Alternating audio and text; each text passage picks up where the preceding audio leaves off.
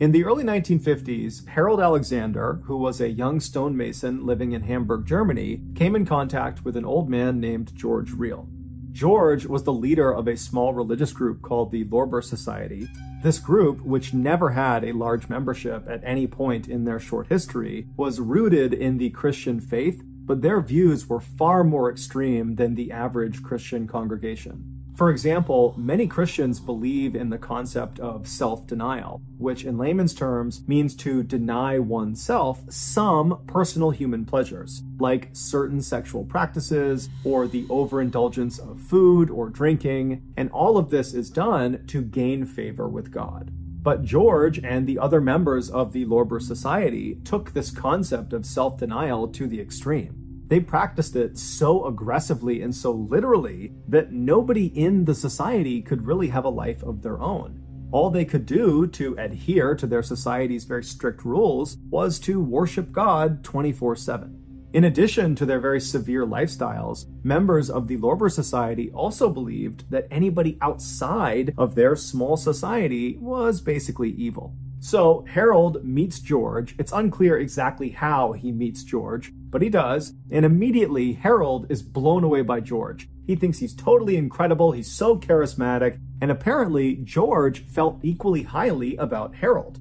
And so right away they have this friendship they strike up, and Harold and his wife Dragma, they end up joining the Lorber Society, and they completely give themselves over to this very intense lifestyle, and they listen to everything George tells them to do. And then very quickly after Harold and his wife had joined this society, their leader, George, became very ill, and it became clear he was going to die soon. When George was on his deathbed, Harold went to visit him, and after speaking with him privately in this room, Harold emerges and he tells his wife that George has told him that he is going to be the next leader of the Lorber Society once George passes away. And so his wife accepts this, as does the rest of the society members. And then after George actually does die, everyone in the society just turns towards Harold and begins listening to him and following him. It's worth noting that we don't know for sure if George really did tell Harold that he was going to be the next leader of the Lorber Society, or if Harold just made that up because he knew George was going to die soon and he could kind of get away with stealing that title. Over the next few years that Harold was in charge of the Lorber Society, he began introducing a new concept to the members. He would continuously tell them that they needed to be ready for when the next prophet of God returned to the earth.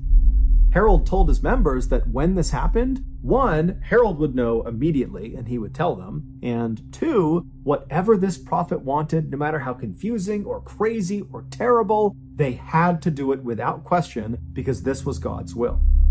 In 1953, so roughly a year or two after Harold has taken over the Lorber Society, he and his wife, Dragma, have their second child. It's their first boy, and they name him Frank, and as soon as this child is born, Harold looks at him and determines that this boy, his son, is the prophet they have all been waiting for. And so he tells his wife and he tells the members of the Lorber Society that his son, Frank, is the prophet of God, and everyone across the board completely accepts it.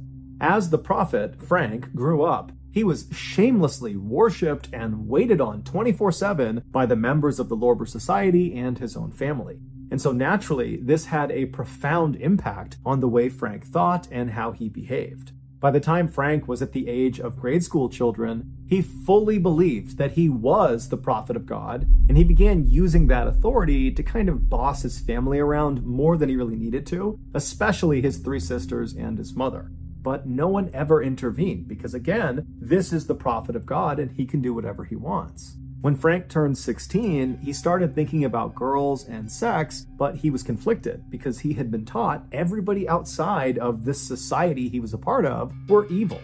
And so he didn't want to pollute himself by having sex with these evil women. And so he went to his father and told him that he wants to start having sex with his mother and his sisters in order to stay pure. And his father, Harold, not only embraced the idea, he encouraged it and in fact, he would often join in with his son during the sexual intercourse. As for the four Alexander women, they completely accepted their new roles as sexual objects because they believed by doing whatever Frank the prophet wanted, they were serving God. Eventually, one of the sisters began talking to some of her very few friends at school about how she was kind of jealous of her other sisters for all the attention they were getting from Frank. And so the friends kind of picked up on this strange relationship between the siblings. And before long, rumors had started about there being some incestuous relations inside of this family. And those rumors eventually made their way to the parents of students. And then from the parents, that made its way to the police. And before long, Harold had discovered that the Hamburg police were about to launch an investigation into his family. And at the same time, Harold also discovered that members of the Lorber Society, they had heard about these incest rumors as well, and they had their own suspicions already, and they were not on board with incest. And so they were very clearly starting to distance themselves from Harold and his family. And so it was pretty clear to Harold that the writing was on the wall. He and his family were no longer welcome in Hamburg. And so he goes to the Lorber Society and kind of retires and says, you know, I'm leaving. You need to find yourself a new leader of this society and then he and his family completely broke ties with the Lorber Society. They left Hamburg and fled south to Santa Cruz, which is a city on the Canary Islands in Spain. And so they settle into this little apartment inside of this busy city, and very quickly they fell back into their old routines of constantly worshiping Frank, the prophet of God despite the fact that they were no longer affiliated with the Lorber Society, and so their actions were now being driven by their own personal belief system. Ten months later, on December 22, 1970, a wealthy doctor named Walter Trankler was at his villa, which was located not far from where the Alexanders lived, when he heard a knock at his front door. When he opened the front door, he saw there were these two men who he didn't recognize, who were covered head to toe in what looked like mud. And at first, he was totally taken aback by their appearance and almost wanted to just shut the door. But in order to be polite, he kept the door slightly open and said, you know, hey, how can I help you guys? And the two men would introduce themselves as Harold and Frank Alexander, and they were there to speak with one of their family members, Sabine. Sabine was one of Frank's two younger sisters, and she worked for the doctor as a housemaid. And so the doctor, he didn't know any of Sabine's family members, so he just kind of took their request at face value and said, Hold on, let me go get her. And so he leaves the front door, he goes into the kitchen, and he finds Sabine, this 15 year old girl, and he tells her that your father and your brother are waiting for you outside. They want to talk to you. And so Sabine, without saying a word, puts her knife and the food down. She walks out of the kitchen with the doctor. And as they're walking towards the front door, the doctor stops about 10 or 15 feet away from the front door to kind of allow Sabine to walk up and have a semi private conversation with her relatives, although they're still inside of his house, so he didn't want to go too far. And so the doctor is standing maybe 15 feet away, wondering if he should just turn around or maybe just go into the other room to let them speak, when he overhears the father, Harold, say something truly horrific to his daughter. It was so shocking that the doctor stopped what he was doing, turned, and looked directly at Sabine to see how she was going to react to what she just heard. But to the doctor's absolute shock, Sabine didn't break down and start crying or start screaming out in pain or anguish. Instead, she reached out and grabbed her father's muddy hand and pressed it to her cheek and said, I'm sure you did what was necessary. And then the two embraced. The doctor stood there totally shocked, staring at these people, wondering what the heck they're doing. Why are they here? What are they talking about? Is this really happening? And then he just kind of blurts out, Hey, I'll be right back. Stay right there. And then the doctor turned around and darted out of the front hall into another room where he barricaded himself inside. And then he called the police. When the police showed up just a few minutes later, they rolled into the front lot and they saw Harold, Frank, and Sabine were still just casually standing in the front doorway of the doctor's villa seemingly not really trying to go anywhere or do anything. And so the police get out of their car, they walk up to the trio, and they say, You know, what's going on? What are you doing here? And Harold, very calmly and casually, tells one of the officers the same horrible thing that the doctor overheard him saying to Sabine. Except this time, Harold specified to the officers where this horrible thing took place. He said it happened inside of their apartment. The police were shocked at Harold's candidness and the fact that his two kids were standing right next to him and they're hearing what their father is saying. They too are just totally detached and very calm, as if nothing their father is saying is having any effect on them. It's just totally business as usual. And so the police asked Harold to repeat the story a few times to make sure they were hearing him correctly, and then they just arrested Harold and his two kids. After the three Alexanders were brought to the police station, three other police officers were sent over to the Alexanders' apartment in Santa Cruz to see if what Harold had said was actually true. And when these officers opened the front door to that apartment, they immediately could tell it was all true. The following is the story of what happened inside of that apartment based on the testimony given by Frank and Harold. On December 21st, 1970, so that's one day before Frank and Harold arrived on the doorstep of the doctor's villa, the father and son were home in their apartment with the mother, Dragma, as well as two of the three sisters. It was 18 year old Marina and 15 year old Petra.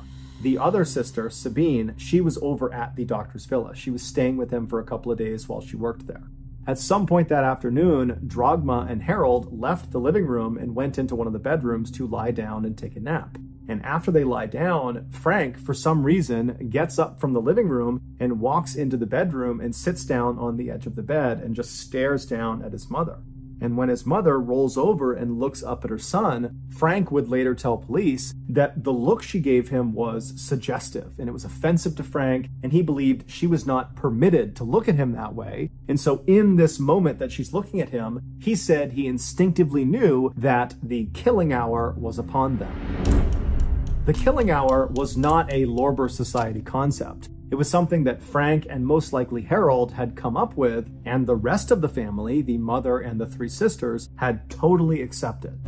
According to Frank and Harold, women were unpure, and the only way to purify them, i.e., send them to heaven and not hell, was to murder them. And so it was just fundamentally understood in the Alexander household that at some point Frank was going to declare that the killing hour was upon them. And when that happened, all the women in the household were told to stop what they were doing and wait for Frank to sacrifice them. Meaning, wait for Frank to ritualistically kill them.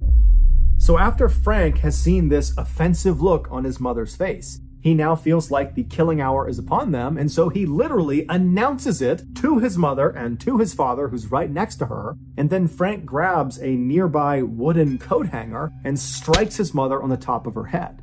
Now, his mother, she's heard that the killing hour is upon them, and he's starting to beat her. And so, what does she do? She follows the rules. She flips herself over onto her stomach, puts her hands down by her side, and lays flat and still so Frank can more easily kill her. And so Frank begins wailing on the back of his mother's head with this wooden coat hanger, while his father, Harold, excitedly leaps out of the bed, doesn't try to stop what's going on. He runs into the living room and he begins very enthusiastically playing the organ. An organ is like a piano that's played a lot of times inside of Christian churches.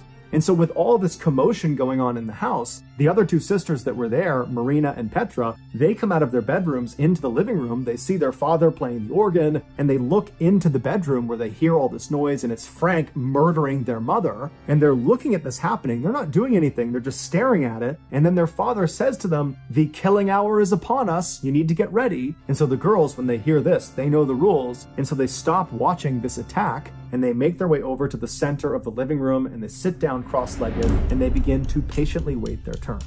After a while, Frank stopped beating his mother, who was now unconscious or perhaps even dead, and he walked out of the bedroom into the living room where he saw his father on the organ and he saw his two sisters sitting on the ground. And so, without any hesitation, he walks over to Marina, the older one, the 18 year old, and he begins hitting her on the top of the head until she slouches over onto the ground motionless. And then he turns to the younger one, Petra, the 15 year old, and he does the same thing to her until she's laying on the ground motionless.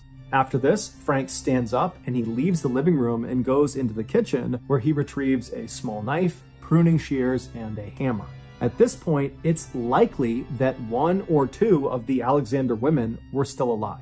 And so Frank, he comes back into the living room with these tools in hand, and with the organs blaring in the background, he begins to systematically hack off the breasts and genitals of his two sisters and his mother. And apparently, this was a very slow and physically difficult task, and so he and his father Harold began switching off. One person would be on the organs while the other was mutilating, and they would switch back and forth until all of the offending parts on these three women had been removed and nailed to the wall.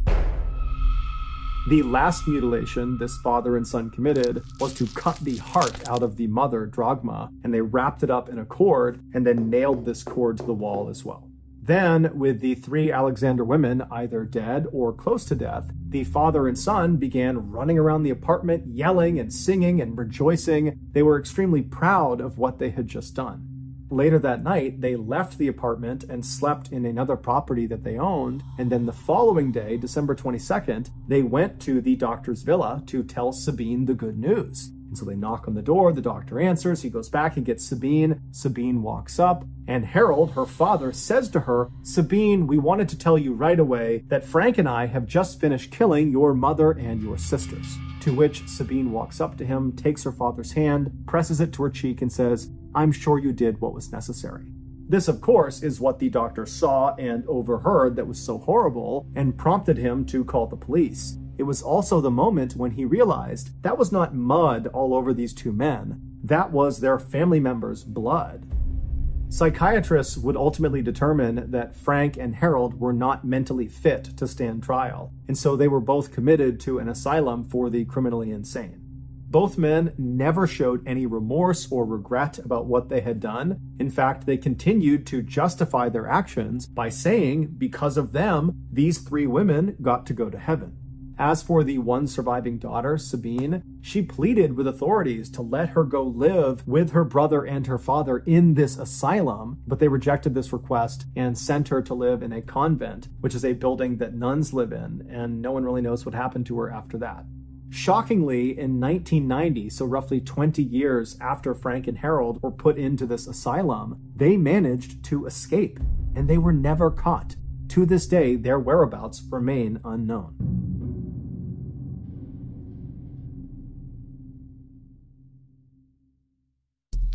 The next and final story of today's episode is called Someone in This Family Has a Secret.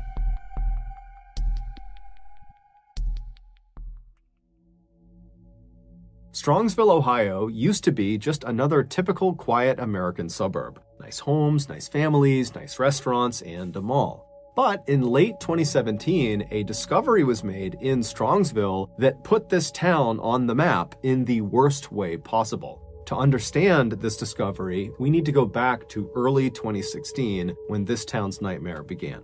In early 2016, two longtime Strongsville residents, Bruce and Melinda Pleskovic, received some very exciting news. Their 20 year old daughter, named Anna, and her 20 year old fiance, named Jeff, had just told them they were expecting a baby, a baby girl. And so Bruce and Melinda were totally excited about the prospect of finally becoming grandparents. But at the same time, they knew Anna and Jeff did not have very much money.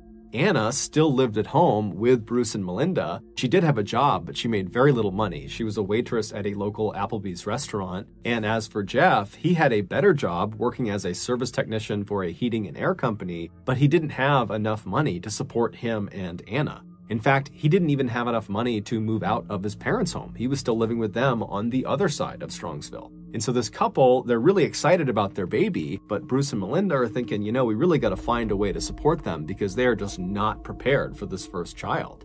And so Bruce and Melinda, they talked it over and they decided the best way to support this young couple was to tell their daughter if she wanted to, she could invite Jeff to come stay at their house. That way, the two of them could be together, and once they had their daughter, Bruce and Melinda could be the great grandparents and help take care of the baby. And in general, this would allow the couple to just continue to save money and move out when they were ready. And so when they told Anna they were willing to do this, Anna was so happy. She was so grateful. She called Jeff, and Jeff was equally happy and grateful and said, Yes, I would love to move in with you guys. So it took several months, but finally, in June of 2016, which was the same month that Jeff and Anna welcomed their daughter to the world, Jeff would leave his parents' home and move into Bruce and Melinda's home. And almost immediately after he moved in, he and the rest of Anna's family began experiencing some very strange and disturbing things around their property.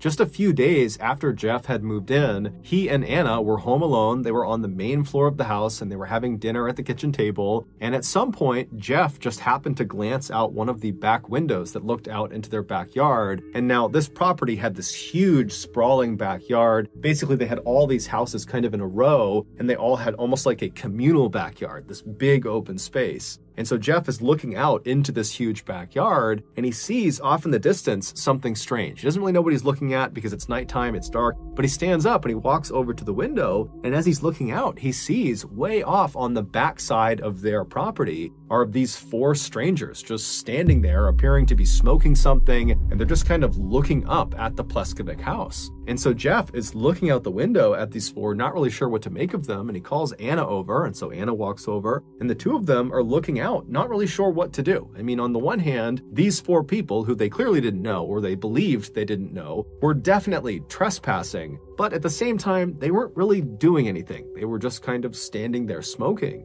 But as they're watching these four people, one of them begins walking up the property towards their home and then stops alongside the Pleskovic trampoline, which was in their backyard. And this person begins fiddling with the trampoline. And so at this, Anna's like, you know what? I don't know what they're doing. I feel totally uncomfortable. And so Anna would actually call the police. And so the police, they come out, but by the time the squad car arrived in front of the Pleskovic house, the four people in back must have seen the car and they took off running. And so when the police officer went in the backyard and looked around, there was no one there. And there was also no sign they were there. There was no dropped cigarette butts or anything. They just kind of vanished. And so the police officer told Jeff and Anna, if they come back, you know, let us know.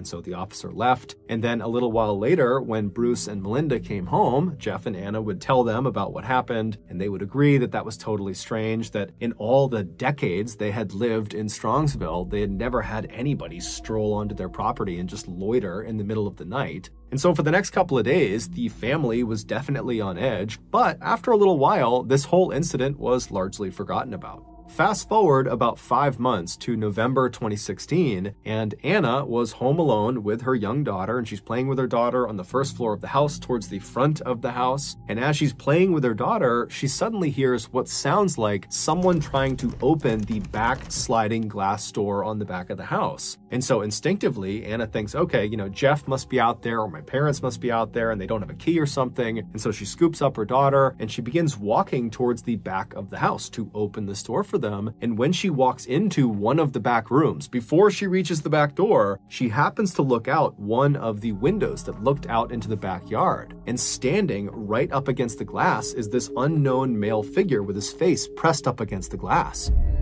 And so Anna just freezes and stares at this guy. And then this guy, he notices Anna and he ducks down out of view. And now Anna's thinking to herself, this is the guy. He must have been trying to break in my back door. I'm home alone. I don't know what's going on here. I don't know if he's going to try to break in again. And so she just turns and runs back towards the front of the house. She runs upstairs. She goes in a bedroom. She locks the door and she calls the police. But by the time the police come out there and they look around, they can't find this unknown figure that was at the back of the house. And there's no sign of an attempted forced entry. And so, unfortunately, they told her, look, you know, I'm sure this was very traumatic for you, but there's really nothing we can do here. There's no evidence to suggest who did this. And so, please just, you know, keep your house locked. And if you see anybody suspicious on your property, call us back. And so naturally, after the police left and Anna had a chance to contact Jeff and her parents, they were horrified and they rushed home to comfort her. And then after the initial shock of this incident had worn off, the family began to speculate, you know, do you think this might be connected to those four strangers we saw on our property a few months ago? It just seems odd that those two things would happen so close together. And then the family began to think, okay, well then who is this person? Who are these people? What do they want? Why are they targeting us? What's going on? Because as it was, the Pleskovic family, they didn't have any enemies, at least none that they knew of. If anything, the people of Strongsville adored this family, especially Melinda, the mother. For the past 20 plus years, she had been a middle school teacher in town and her students adored her. She was also a big time soccer coach in the community because she had played in college and she was still very passionate about it. So she was this amazing coach. And in the eyes of many parents in the Strongsville community, Melinda was a bit of an inspiration because she was not only the mother to Anna, she was also the mother of an 18 year old boy named Kyle who had Down syndrome and was nonverbal. And Melinda just had this unbelievable way with him where she was so good to him. She incorporated him in everything. She got him so involved. She gave him the best life he could possibly have. And so anytime you saw Kyle with his mother, Kyle would be all smiles. Even though Kyle couldn't speak, it was so obvious his mother made him incredibly happy. But regardless of the reason for these strangers to be lurking around their property, the Pleskovic family was now totally on edge and found themselves constantly looking out the windows, especially at night, in fear these strangers were going to come back and might try to break in again. And unfortunately, these strangers would come back. In January of 2017, so two months after Anna saw that unknown figure at the window and heard the back door sliding around, Bruce's car was broken into. It was sitting in the driveway of their property. Someone got inside of it and stole his laptop. And so Bruce, he calls the police and he says, You know, I've got to believe this has to do with the people that are harassing my family. And the police believed him and they began looking around and asking around, but they could never track down the laptop or the thief. And so once again, the family was kind of left on their own. And the police said, look, you know, if you see anything else, let us know, but there's not much we can do here. A few months later, in July of that year, Anna, Jeff, and their daughter were all home together one night when Anna happened to look out one of the back windows on their first floor, and out on the very back of the property were three strangers just standing in that same spot where they saw those four strangers smoking the year before. And these three strangers are just standing there looking up at the house. And so, horrified, Anna calls out to Jeff and says, Look, there are three people in the back of our property. And so, Anna, she pulls out her phone and she's calling the police. And as she's calling the police, Jeff, who's totally upset that there are these people harassing him and his family and making them feel unsafe, he just grabs a flashlight and storms out the back door to go confront these people. But as soon as Jeff went out the back door, before he could even shine the light on them, the three people had turned and ran and vanished. And so finally, when the police did show up, they were aware of all the calls they had gotten from this family. And so they went out there and they did a serious search for these three strangers. But like always, nothing was found. And so the family once again was told if you see anything else, let us know.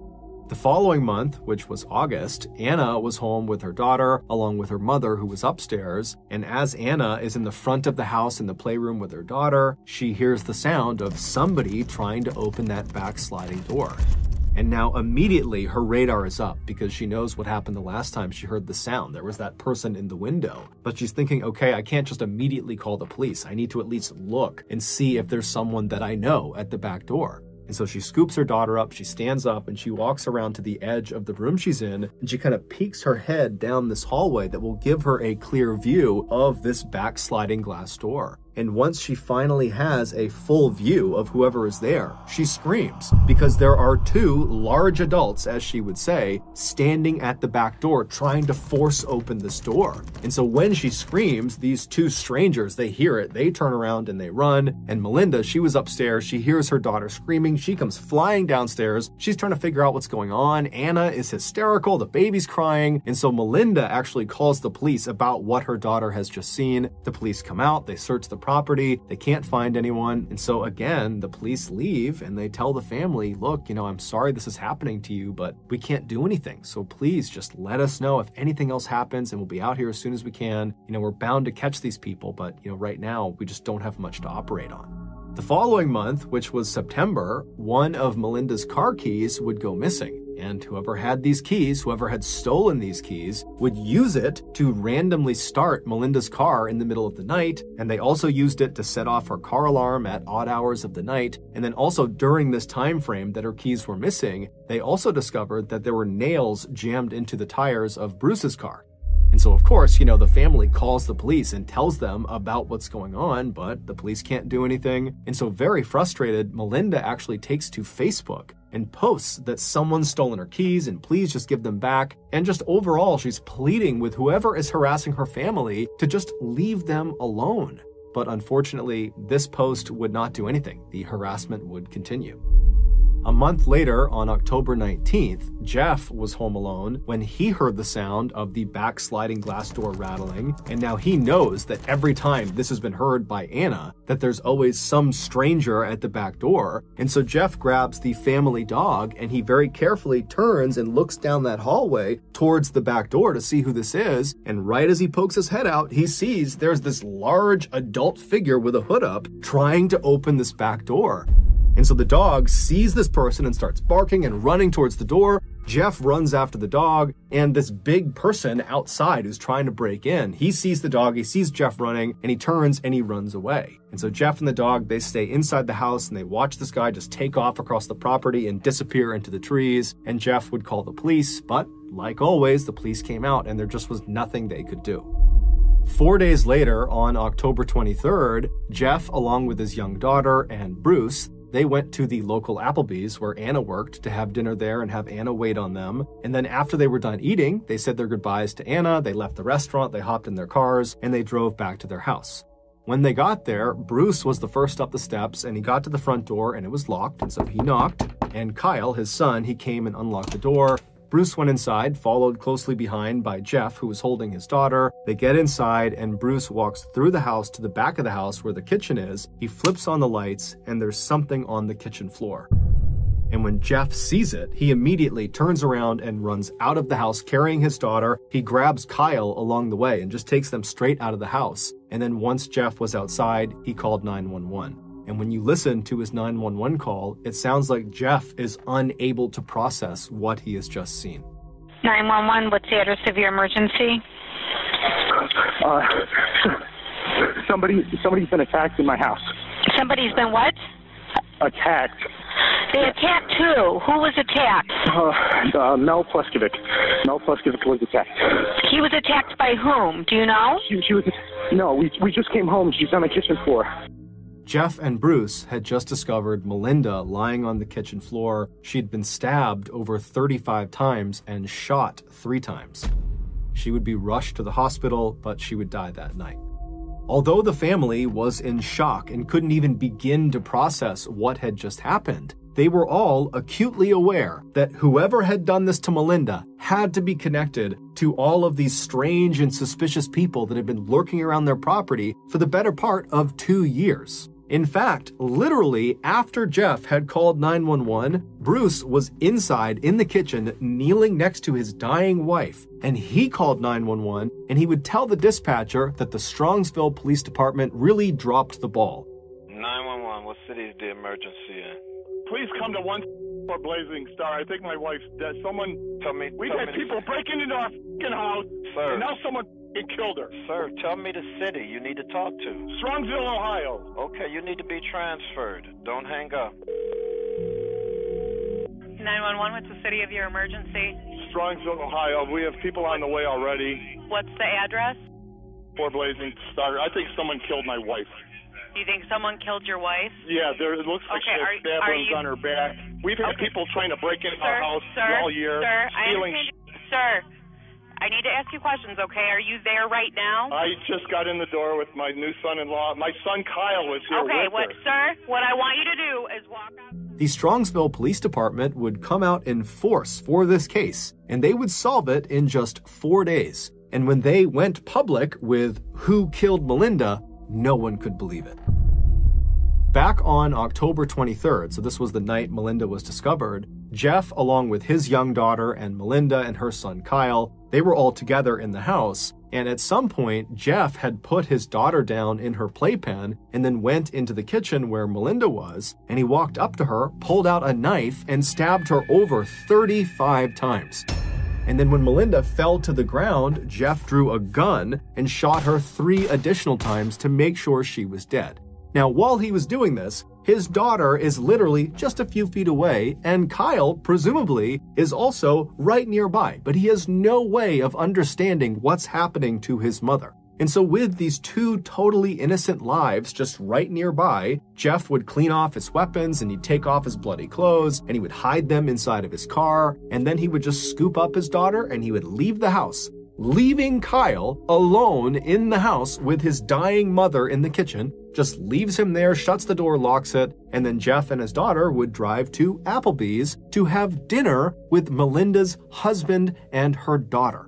And then after several hours, when they got back to the property, Jeff knew what was waiting for them inside, and he still allowed Bruce to go inside first and discover his dying wife on the kitchen floor. Very little is known about why Jeff did this, because Jeff has actually never come out and given his motive for the crime. The running theory is that Jeff actually was not going to be able to pay for the wedding, which was coming up in a couple of days, and the wedding venue had actually contacted Melinda and said, hey, you know, we're canceling the wedding because your future son in law can't pay for it. And so Melinda apparently confronted Jeff about his financial troubles, and the theory is he snapped and killed her. However, that can't possibly be the entire story for why he did this because it would turn out Jeff was found to be responsible for literally every single suspicious event that had taken place around the Pleskovic property leading up to the attack. Meaning, every time they had seen strangers lurking around their property or people trying to break into their house, that had been because of Jeff.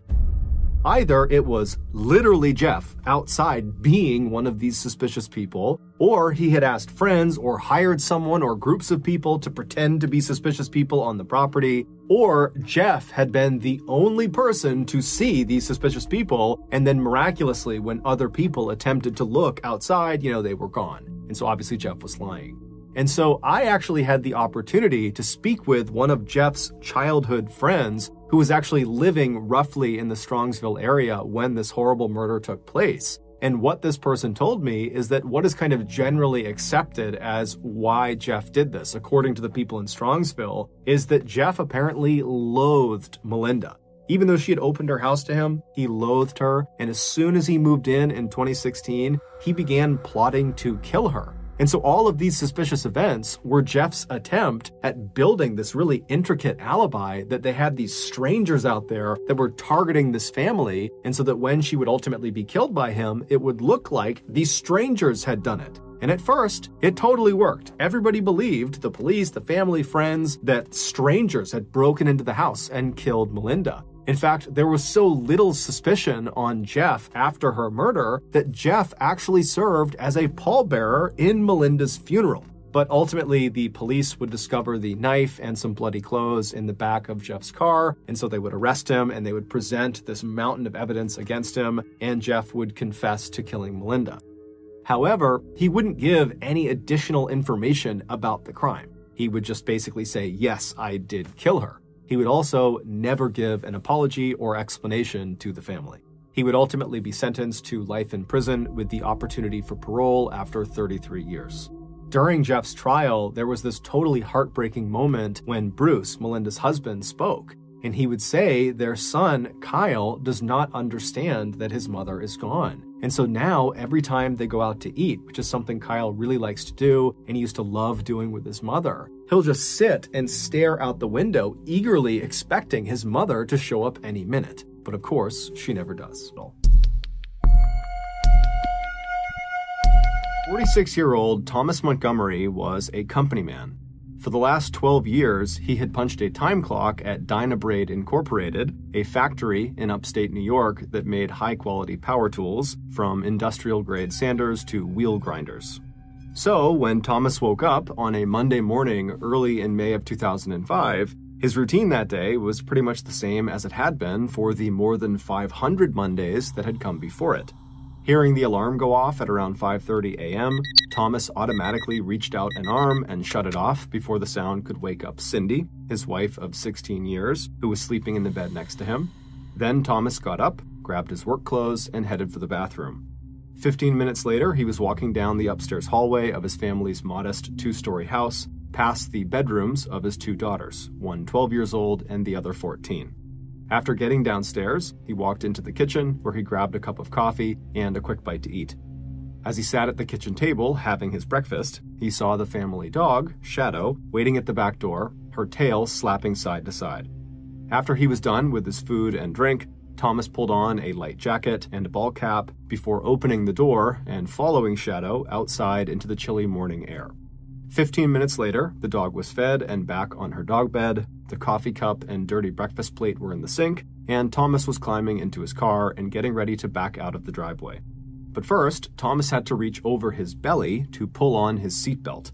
And as he did this, he was reminded that he was a good 25 years and 50 pounds away from his physical prime, back when he was a U.S. Marine. Thomas had never seen combat while he was in the military, but his six years in the Marine Corps still gave Thomas a deep sense of pride. especially considering the fact that at the time, the United States Marine Corps was undertaking some of the most dangerous missions in the U.S. war against terror in Iraq. Pulling his mind back to the present, Thomas finally buckled his seatbelt, then started the car engine and backed out of the driveway onto the quiet residential street on the outskirts of Buffalo, the second largest city in New York State. After tuning the car radio to his favorite sports station, Thomas then headed north to pick up New York State Highway 5, which would take him to Clarence, New York, where Dynabrade was located.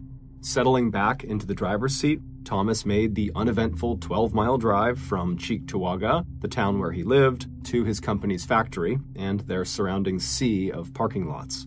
Thomas found a parking spot shortly before 7 a.m., and then he hopped out of his car and walked inside the building to join the line of other Dynabrade machinists, all getting ready to clock in, put on their clear plastic safety glasses, and get to work. Eight long hours later, Thomas had clocked out and was back in his car headed home. In about half an hour, he'd be walking the dog again, and when that was done, he'd be taking his two daughters off to swim practice at the local swim club, where he spent so much time that the club had asked him to be its vice president.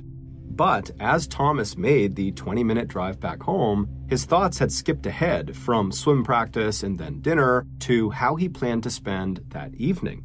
For years, Thomas had lived for his Friday nights. That was when he and some buddies from work got together to play poker.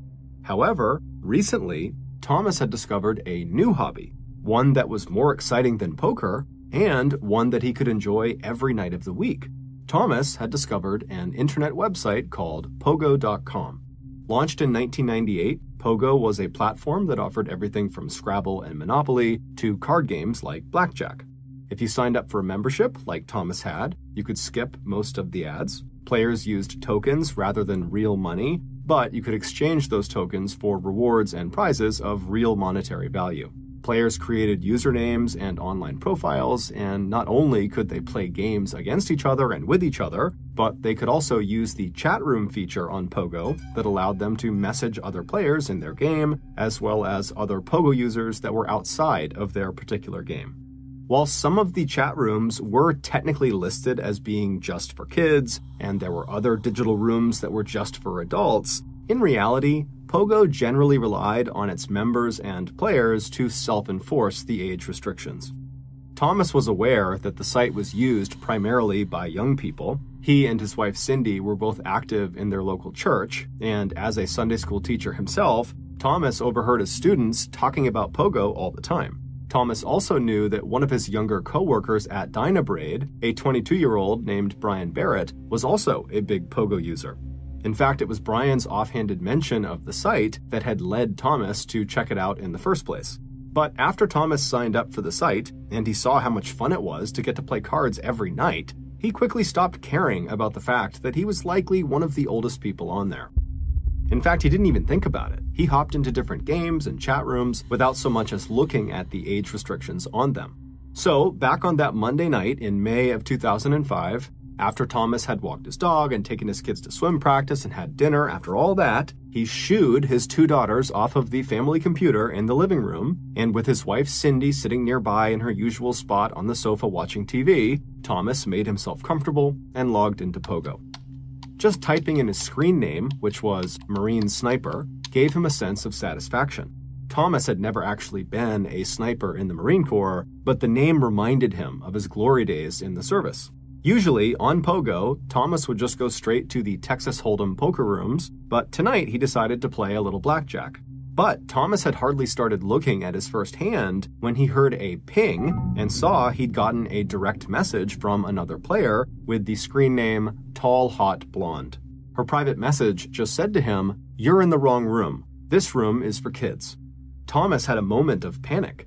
He hadn't checked to see whether this chat room slash game room was for kids or adults, and suddenly he wondered what would happen to him if it was revealed that he was a 40 something year old man playing with kids. Would he be kicked off of Pogo? Thomas did not want that to happen. Thomas loved Pogo. Playing these online card games and chatting with random strangers in the chat rooms had become an escape from the daily drudgery of his job and his routine. It also took his mind off the fact that in the last year or so, he'd had more and more problems with impotence, and that had put a strain on his marriage. His wife, Cindy, wanted to talk to him about it and spend more time together. Thomas, on the other hand, wanted to just ignore it and be left alone. So it didn't take Thomas long to decide how he was going to respond to Tall Hot Blonde's message. A second later, Thomas, aka Marine Sniper, wrote back, Don't worry, I'm 18 years old. What about you? How old are you? While Tall Hot Blonde didn't tell Marine Sniper her real name, she did tell him that she was a 17 year old high school senior who lived in Western Virginia. She liked sports, and she played on her school's softball and basketball teams, and she wasn't sure yet what she was going to do after high school. And what about him? She typed. Are you really a sniper? Sitting there in front of the computer screen, Thomas felt a sudden, intense rush of excitement. The question had given him a very unexpected thrill. He would never meet this girl, and here he had an opportunity to play the part of his much more interesting and exciting and exaggerated younger self. So, Marine Sniper told Tall Hot Blonde that, yes, well, soon he would be a sniper. He was a Marine recruit for now who went by the nickname Tommy. He was about to start boot camp soon, then he would go to sniper school, and then after that, he would deploy to combat in Iraq. By the time Thomas had shut down his computer two hours later, Tall Hot Blonde had sent him pictures of herself wearing a small yellow bikini that showed off both her curves and her flat belly. She'd eventually told him that her real name was Jessica, but she went by Jessie, spelled J E S S I. She had one brother, and her family lived in a small house in the backwoods of West Virginia where nothing exciting happened, at least not since she had come in first place in a local beauty contest back in 2002. As Thomas turned out the downstairs lights and went upstairs to join Cindy in bed, he kept seeing those pictures of Jessie. With her wide smile, shoulder length straight blonde hair, and long tanned legs, she more than lived up to the promise of her screen name. Thomas was already secretly hoping that the next time he logged on to Pogo, Tall Hot Blonde would be waiting for him. Thomas was still thinking about those pictures of Jessie when he woke up the next morning and as soon as dinner that night was over, Thomas headed straight for the family computer. A minute later, he was on Pogo. Despite telling himself that this time he was just going to play a couple of hands of Texas Hold'em and then log off, Thomas kept clicking on his Pogo chat feature inbox, hoping he would see a private message come through from Tall Hot Blonde. And he didn't have to wait long. As soon as he saw the words, Tommy, is that you? pop up on his screen, Thomas felt that same thrill course through him that he'd felt the night before. And this time, there was no hesitation at all. Thomas began to add one lie after another to the fantastical story he told Tall Hot Blonde about Marine Sniper Tommy. After that, every night over the next few weeks, Marine Sniper and Tall Hot Blonde told each other intimate details about their lives. While the real Thomas Montgomery still got up early every morning to go to Dynabrade and spend eight hours making components for power tools, in the evenings, he became the man he had dreamed of being. While Thomas was overweight and balding, Marine Sniper was 6 foot 2 inches tall and 190 pounds of pure muscle. While Thomas came home after work and walked the family dog and took his daughters to swim practice, Marine Sniper had the broad shoulders that Jessie had said she liked, along with a black belt in karate. While Thomas wore glasses and covered his bald spot with a ball cap, Marine Sniper looked a lot like a younger red haired version of Hollywood heartthrob Harrison Ford. Soon, Jesse and Tommy had moved off of the Pogo chat feature and had started emailing each other and using Yahoo's instant messaging feature. Jesse's instant messenger name was Peaches0617, while Thomas went by Tommy Loves WV Fox.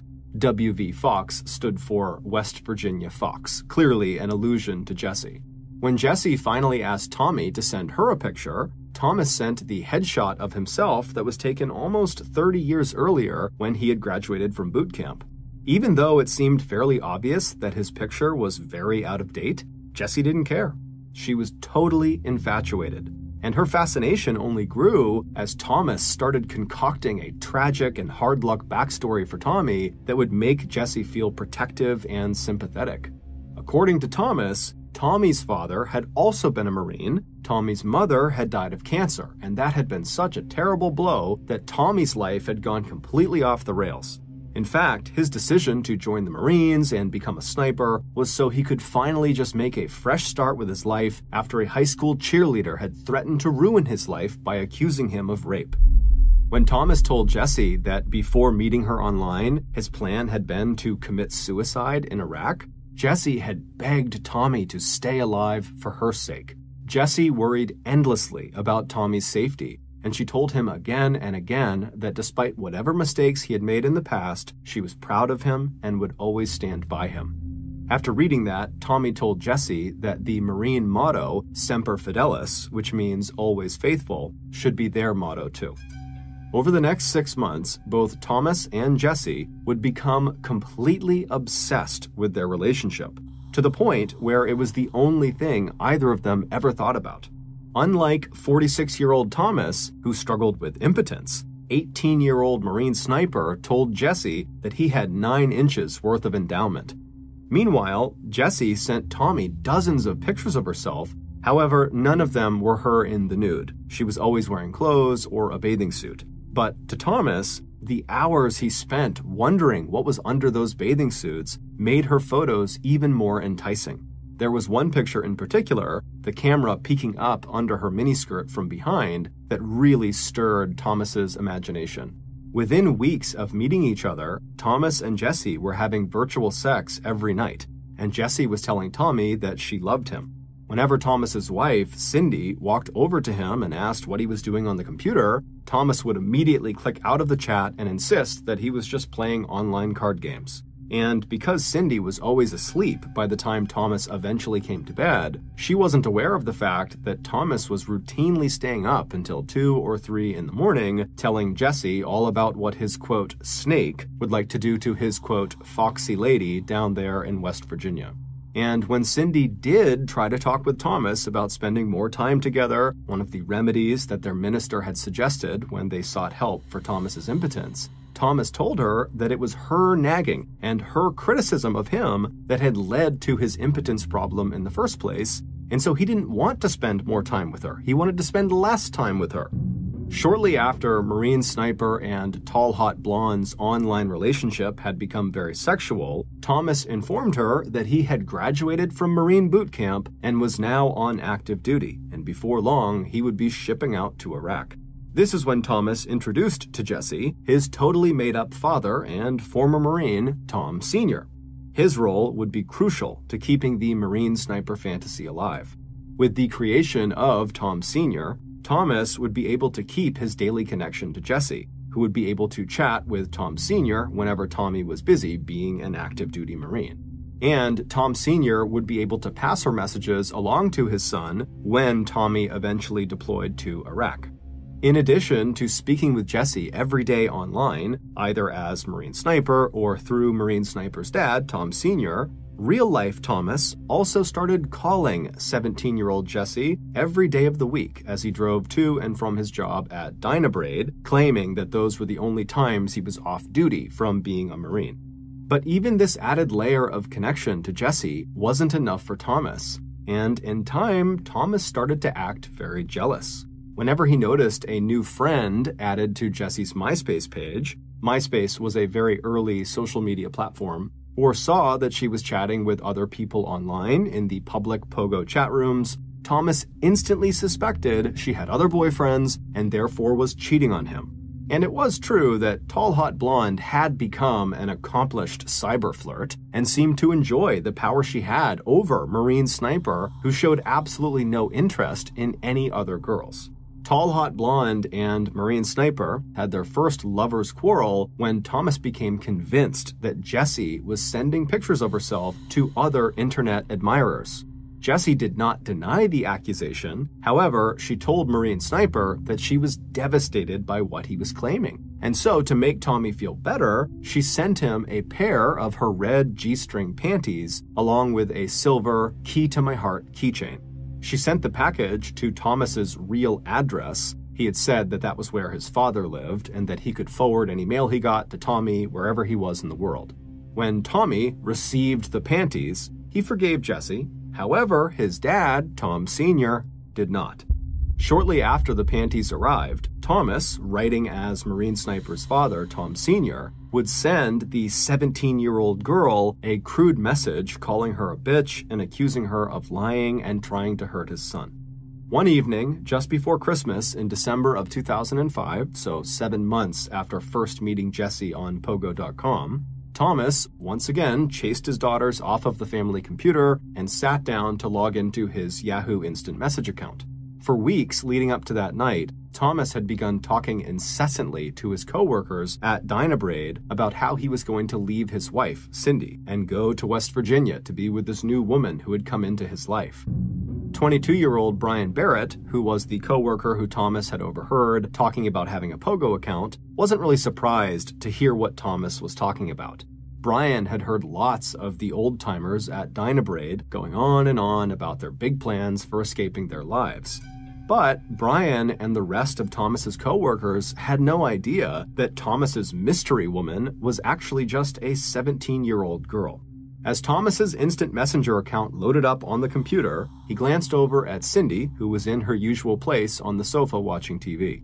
He barely noticed all of the Christmas decorations that his wife and his daughters had put up all over the living room that day. Because the only thing on Thomas's mind at that moment was what he was about to ask Jesse.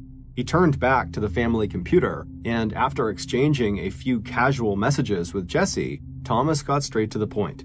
He told her that Tommy didn't know if he was going to make it out of Iraq alive. But before he shipped out, he wanted to marry Jesse. And would she have him? Jesse's answer came right away. Oh my god, yes, yes, she would marry her sweet, sexy Marine. The next night, when Thomas logged into his instant messenger account again, he saw excited messages from Jessie telling Marine Sniper that she was already planning their first night in bed together. It would be her first time, she told him, but she was more excited than nervous. She also told Thomas that from now on, even before they officially got married, she'd be referring to herself as Jessica Blair Montgomery. Days later, another package of Jesse's panties arrived at the Montgomery house, and along with them was a set of engraved dog tags that read Tom and Jesse, always and forever. Rationally speaking, Thomas knew that there was no way he could ever marry 17 year old Jesse. But at the same time, he just could not accept that at some point he would have to give up not just Jesse, but Tommy, the Marine sniper. And so, at some point, shortly after asking her to marry him, Thomas made up his mind. He decided he would find a way to marry Jessie and have a real life with her outside of the internet. And to do that, he needed to become 18 year old Marine sniper Tommy. And so, on January 2nd, 2006, while he was on a break at Dynabrade, he pulled out a piece of stationery with the company logo at the top and wrote a letter that was part New Year's resolution and part manifesto describing this vision he had for the future.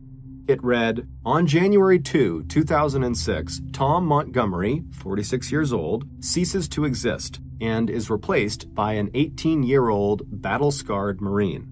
He is moving to West Virginia to be with the love of his life. Thomas also wrote in this strange letter that Marine Sniper had more than $2 million and would use that money to take care of Cindy and his two daughters, as well as help him build his new life with Jesse.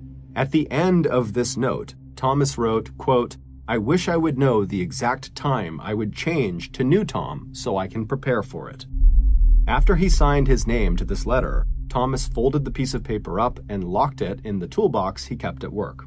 In mid March 2006, so two months after Thomas penned this New Year's resolution slash manifesto, one of his daughters, who was home from school and waiting for her mom and her dad to get home, was researching an assignment on the family computer when she heard a ping. Thomas had accidentally forgot to log out of his instant message account before he left for work that morning.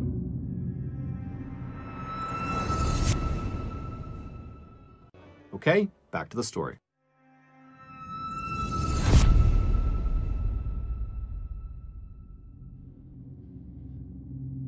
And so the message that his daughter received came from Jesse, tall, hot blonde, and it was very sexually explicit and was clearly intended for Thomas.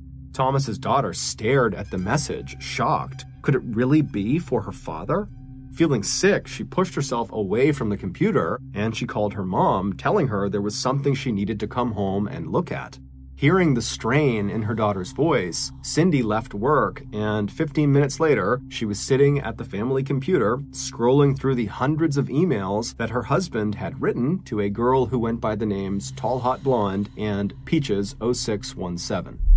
Horrified, Cindy finally turned away from the computer and went upstairs and started searching through her husband's drawers and closet, where she would find a treasure trove of handwritten letters and pictures, lingerie, and a set of dog tags engraved with Tom and Jesse always and forever. When Thomas finally pulled into the driveway that night, Cindy was waiting for him inside.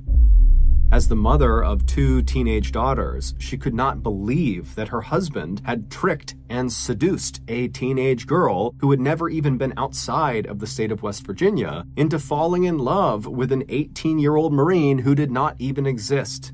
When Thomas stepped through the front door holding his car keys and lunchbox, he saw his wife standing in front of him. She looked sad and furious and she was holding a handful of frilly girls' underwear, including a bright red G string. Thomas knew, like a punch right to his stomach, that his wife knew his secret. And when he tried to act surprised, like he had no idea what Cindy was holding out to him, even trying to step around her into the hallway, Cindy was not convinced even for a second. Instead, she walked over to the family computer and began reciting out loud some of the lewd things Thomas had sent Jesse. Cindy told Thomas that what he was doing and what he had done was not only totally inappropriate and totally disgusting, but it was likely illegal. Jesse was a minor. And if that wasn't enough, Cindy told Thomas that his own teenage daughter had been the one to discover this raunchy affair. Cindy told her husband that he only had two options give up this totally inappropriate, bizarre fantasy, or they could get divorced. As he stood there in stunned and guilty silence, Cindy told him that for now, he just needed to go away. Go walk the dog, go cut the grass, anything. But right now, she couldn't even stand to be near him. Thomas said nothing and turned around and walked back outside. As soon as Cindy was alone, she sat down at the kitchen table and composed a careful letter to Jesse. And as she slipped it inside of an envelope, she also enclosed a recent picture of the Montgomery family. Let me introduce you to these people, Cindy had written. The man in the center is Tom, my husband since 1989. He is 46 years old, and here are our two daughters, 12 and 14 years old. Cindy told Jesse that there is no Tommy, there is no Marine sniper. Cindy closed the note with a piece of advice for Jesse do not trust the words you read on a computer. When Jesse got Cindy's letter, she was completely crushed. Before breaking off all contact with the 46 year old man she now knew had been posing as Marine Sniper, she sent Thomas a series of furious and hurt messages asking him how he could have done this to her and telling him he should have to go to jail for what he had done. For his part, Thomas, who still lived in the same house with his wife and daughters but slept in the basement, told Jesse he was sorry and that he never meant to hurt her. And Thomas told his wife Cindy that although he was totally ashamed of what he had done to her and to the family, he was relieved that she had found out, because the guilt and the stress of this double life had become an unbearable burden. And for the next six weeks, even though Thomas still occasionally logged onto Pogo.com to play cards, he did not hear another word from Tall Hot Blonde. But it would turn out, despite no longer communicating with Thomas, Jessie was nowhere near forgetting or forgiving what Thomas had done to her. She also began to wonder if maybe the letter she had received from Cindy was a trick. Maybe, thought Jessie, Cindy was really another girl who was also in love with Marine Sniper, and maybe Cindy had made up that whole story about Tommy being 46 years old and married with kids so that Cindy could have Tommy all to herself.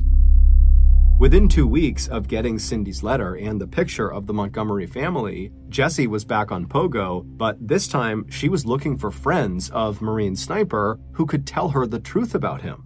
On April 17th, Jessie got her answer. She had found another person online that Tommy had once mentioned to her. It was a user who went by the name Beefcake1572. He was a 22 year old student at Buffalo State College who also worked part time at a company called Dynabrade in upstate New York. This man's name was Brian Barrett. Again, the same Brian Barrett who Thomas had overheard talking about Pogo that had inspired Thomas to log into Pogo in the first place. And it didn't take much time in a private chat room for Tall Hot Blonde and Beefcake to put together all the pieces of the puzzle. It also didn't take long for Beefcake to fall completely in love with Tall Hot Blonde, who wasted no time sending him the same titillating pictures she had sent to Thomas. Jessie was Brian's ideal girl, blonde, beautiful, and athletic. When Beefcake confirmed that his coworker, Marine Sniper, really was 46 year old Thomas Montgomery, and that he really did have two teenage daughters and a wife named Cindy, Jessie was crushed all over again she was also very, very angry.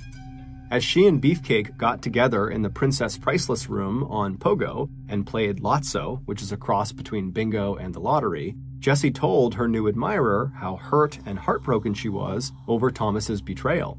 It didn't take long for Beefcake to feel just as outraged as Jessie over the predatory and creepy behavior of this older man he once thought of as a good friend and coworker. So by the time Jessie got around to asking Beefcake if he would help her teach Thomas Montgomery a lesson, Brian, dazzled by Jessie's beauty and attention, was all in. He asked her, What do you need me to do? A couple weeks later, at the end of April, 46 year old Thomas Montgomery logged on to Pogo. However, as soon as he was logged in, he got a message saying that his account had been suspended due to complaints of inappropriate activity. Stunned, Thomas logged off and started going on some of the other gaming sites he often visited outside of Pogo, and what he saw on them horrified him. On each of these other sites were forums where members of the site could post questions or offer insights or whatever they wanted to talk about, and then other people on the site could click on those individual posts and they could comment and interact with them. And when Thomas logged into each of these other gaming sites, the forum page where all these different topics are listed was the first thing he saw. And immediately he saw his real name in several of these posts. And when he clicked on them, he saw the posts were all about how he was this 46 year old predator and pedophile who posed as this Marine sniper. When Thomas checked to see who had written these posts, his heart sunk. They were all from either Tall Hot Blonde or Beefcake 1572, who he instantly recognized as his coworker, Brian. Meanwhile, Jesse and Brian became closer and closer. When Jesse suggested to Brian that he tell his coworkers at Dynabrade what Thomas had done, Brian didn't waste any time. He asked Thomas's coworkers if they remembered all that talk from Thomas about him leaving his wife Cindy and moving to West Virginia to be with this new mystery woman he had met, then Brian put out the word that the mystery woman was really a 17 year old girl that Thomas had met online by posing as an 18 year old Marine sniper. It didn't take long for Thomas to start seeing the dirty looks and hearing the nasty comments all around work. He was now sure that half the people at his office thought he was a loser and a predator, and parents no longer wanted him to be around their kids. Also, Brian outright told Thomas that he and Jessie were now an item and that every time they interacted, things got hot and heavy. At home, banished to the basement and now using his own computer, Thomas sent Jesse an instant message that hinted at suicide. It said, You can say goodbye forever to me and Tommy. At first, Jesse was glad to see the damage her revenge campaign was doing to Thomas, and it was clear that Brian was also getting a thrill out of it as well. But eventually, Jessie started to feel bad about what was happening. And in a series of text messages that started a few weeks after she and Brian had begun publicly shaming Thomas, Jesse was back in touch with Thomas, telling him how much she missed her Tommy, and that Thomas was all she had left of her, quote, sweet, sexy Marine. Maybe, she told Thomas, they could just be friends, and together they could keep the memory of Marine Sniper Tommy and the passion they had shared alive. But despite Thomas agreeing to this just be friends arrangement, his relationship with Jesse pretty much immediately became very sexual and intimate again. Except now it was not just Thomas and Jesse, it was Thomas, Jesse, and Brian. Despite Jesse's promise to Thomas that she would end her relationship with Brian, she didn't. And instead, she began going back and forth between the two men. And so, in time, the hours that she and Thomas would spend messaging each other late into the night and early morning veered crazily between declarations of love and jealous outbursts from Thomas, who kept seeing Brian's username pop up alongside Tall Hot Blonde on Pogo, other gaming sites, and on Jesse's MySpace page. Meanwhile, the tension between Thomas and Brian when they were at Dynabrade together was palpable. Thomas was furious with Brian, not only for interfering with his relationship with Jesse, but for also very publicly humiliating him. And Brian, who had developed real feelings for Jesse, had become furious with Thomas and felt like he really was a predator and a pedophile and should just go away. Thomas and Brian would openly argue and fight with each other at work, and then when they went home, they would get online and spend hours accusing each other of telling lies about their relationship with Jesse. But by mid May, Brian was just tired of the drama. And so he told Thomas that he was just going to go to West Virginia and he was going to see Jesse in person and likely become intimate with her in person, and then she would be all his. Even though Jesse told Brian, no, do not make a trip to West Virginia, the damage to Thomas was done. From that moment forward, Thomas became obsessed with the idea that Jesse and Brian were going to take their relationship out of the cyber world, where Thomas felt like he had a chance with Jesse, into the real world, where 46 year old Thomas stood no chance. By early September 2006, this obsession had made it impossible for Thomas to be even remotely civil with Jessie. His messages to her had become so crude and so violent that Jessie had just begun to ignore them. And when she did this, it only made Thomas more angry and more obsessed. At 10:16 p.m. on the night of September 15, 2006, Brian clocked out of his shift at Dynabrade. It was 63 degrees Fahrenheit and cloudy outside. The quiet and the light northeast breeze were a welcome relief after the noise and bright lights inside the machine shop. As Brian walked across the nearly vacant parking lot, he kept his head down and fished his car keys out of his pocket. When he got to his white pickup truck, he polished a small smudge off the driver's side door before opening it up and hopping inside. Before Brian put his keys into the ignition, he paused and noticed that the back left side of his truck seemed to be sagging slightly. But before he could figure out why it was doing that, he noticed off to his left in his peripheral vision, a shadowy figure was moving across the lot toward him. Two days later, early on Monday morning, September 18th, Clarence, New York police got a 911 call from the security guard at the Dynabrade equipment factory. He just found the body of a young man who'd been shot dead at close range inside of his white truck that was parked in the Dynabrade parking lot. By the time the police arrived, so too had the first shift of Dynabrade workers. As the police set up a perimeter around the crime scene, co-workers stood by in total disbelief. Based on interviews with Brian's family who had not seen him all weekend, and with his co-workers who identified his truck and his body, along with records that showed when Brian had last left the Dynabrade factory, it only took police a few hours to come up with a preliminary theory about what had happened. Whoever killed Brian must have taken the young man by surprise. Brian sat slumped in the driver's seat of the truck, leaning slightly towards his right, away from the closed window with the three bullet holes punched through it. There were bullet wounds in his upper left arm and jaw, and a gaping hole in the left side of his neck. Police noticed that Brian's back left tire on his truck was flat, and when they checked, they saw someone had punctured it with a knife. Also, a 30 caliber carbine rifle shell casing, as well as a peach pit, were discovered at the scene of the crime. Brian's family was devastated. They had absolutely no idea who might have wanted to harm their eldest child. When police interviewed Brian's parents, neither of them were aware of any problems or arguments that Brian was having at home, at school, or at work. But once police began interviewing Brian's coworkers at Dynabrade that Monday morning, they heard a very different story. It seemed to be common knowledge that Brian had had a serious falling out with a coworker who had been acting more and more erratically in recent weeks.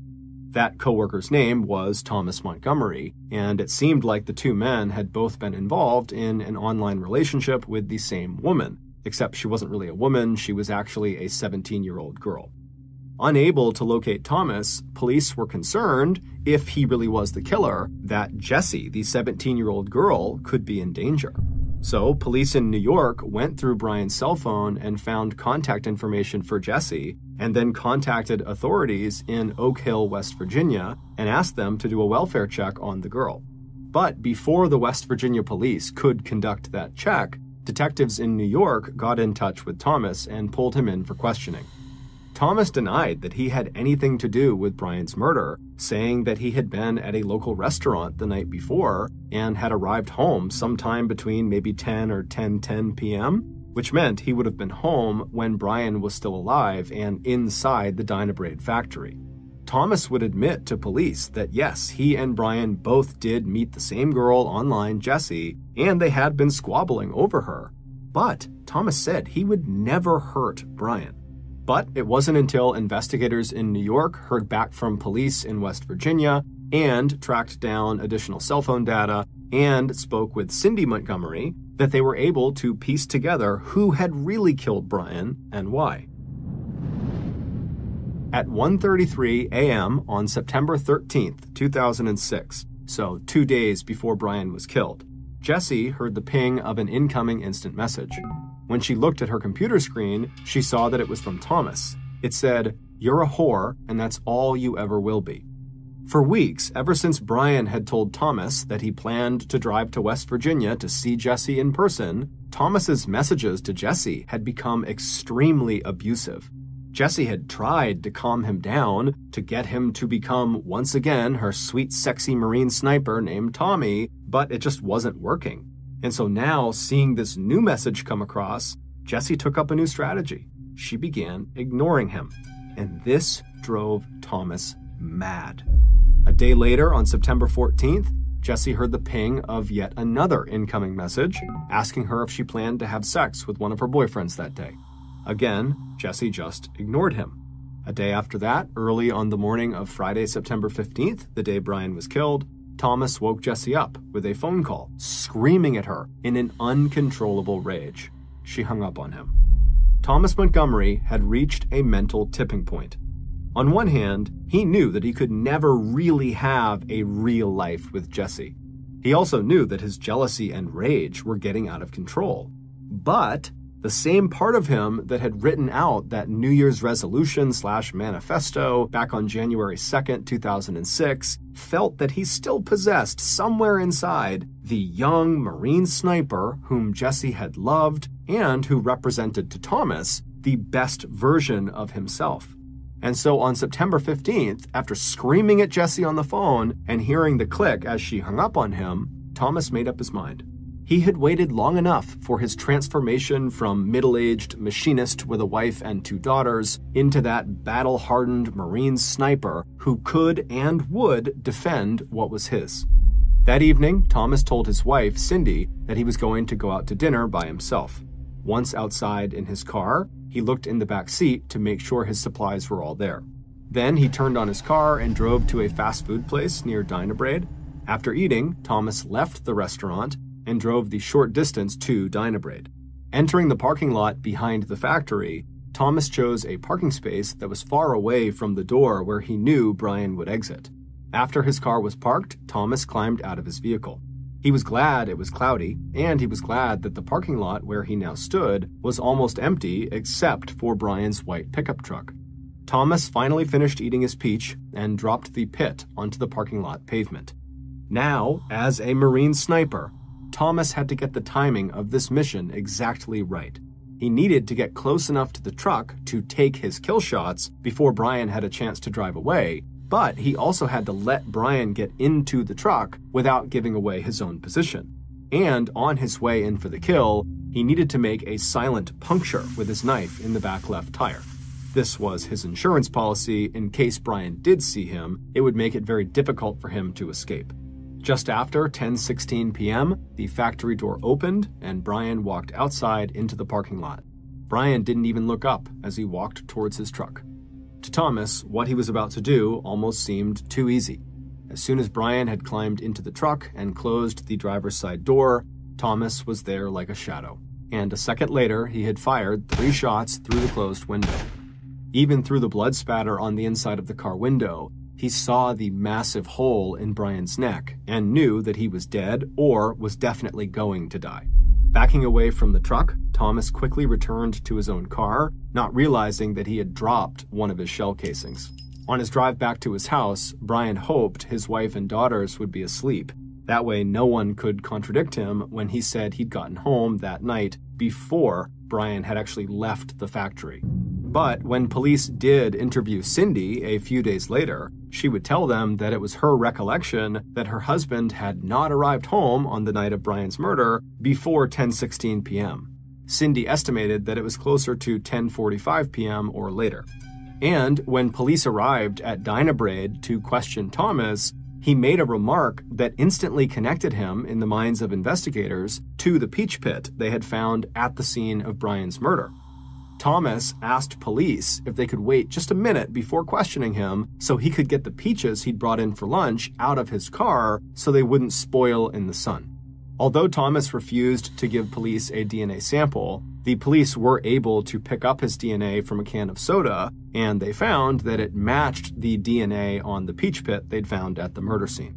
A search of Thomas's house did not turn up a 30 caliber carbine rifle, but it did turn up an old photo of Thomas's gun cabinet that contained the exact same gun. Thomas's computer told investigators the rest of the story in thousands of messages and emails to Jesse and Brian, coupled with his collection of Jesse's lingerie and other gifts. Thomas detailed his obsession with Jesse and his jealousy and growing hatred for Brian. Later, police would also discover the letter that Thomas had written that he kept locked in his toolkit at work. It was his New Year's resolution slash manifesto that described wanting to leave 46 year old Thomas Montgomery behind and become instead his 18 year old alter ego, Marine sniper Tommy. On November 27, 2006, two months after Brian's death, police arrested Thomas and charged him with murder. And it was at this time that Thomas learned he was not the only person pretending to be someone else online. When West Virginia law enforcement arrived at Jesse's house to do that welfare check on her, her mother arrived at the door. When police told her that her daughter, Jessie, was in danger following the murder of a man she had likely been involved with online, the woman was shocked and told them that Jessie was not home. When police told her that they really needed to get in touch with her immediately and go get her in their own vehicles if necessary, the mother suddenly broke down and started crying, and then told police that she really did have a daughter named Jessie. But that was not the Jessie they were looking for. She, the mother, a slightly overweight 46 year old housewife with short brown hair, whose real name was Mary Shieler, was the 17 year old girl, tall, hot blonde. It would turn out, for more than 16 months, Mary Shieler had used her daughter's real identity to enter into multiple online relationships with men, sending them, just as she had sent Thomas and Brian, hundreds of pictures of the real Jessie, her daughter. When investigators asked her why she did this, Mary said she had joined Pogo to relax and kill time. After that, she enjoyed the drama and power and attention she got from manipulating the emotions of her many online admirers, none of whom she loved. In fact, she told investigators she was happily married to her husband of 23 years and was very devoted to her daughter, who had no idea any of this was happening and was off at college. But all that would change when the real 18 year old Jessie discovered her own pictures and name all over the internet, along with details of how her own mother used her identity as bait for a catfishing scheme that left one man dead, one in prison, and two families in ruins. When police arrived at the jail and showed Thomas Montgomery a picture of the real tall, hot blonde, 46 year old Mary Shieler, the color from his face drained. Then, without saying a word, he turned around and faced the wall. He would eventually plead guilty and would be sentenced to 20 years in prison. There were no charges that could be brought against Mary Shieler for catfishing, but her husband would divorce her, and her daughter, Jessie, would sever all ties with her.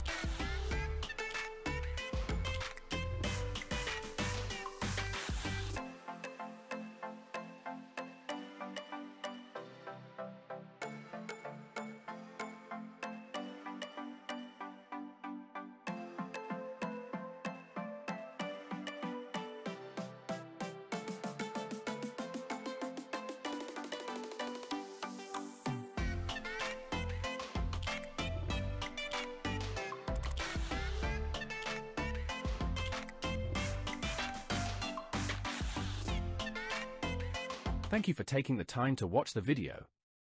I hope you enjoyed it. If you did, please like, comment, and subscribe to the channel for more content. Your support means a lot to us and helps us create more videos that you'll love.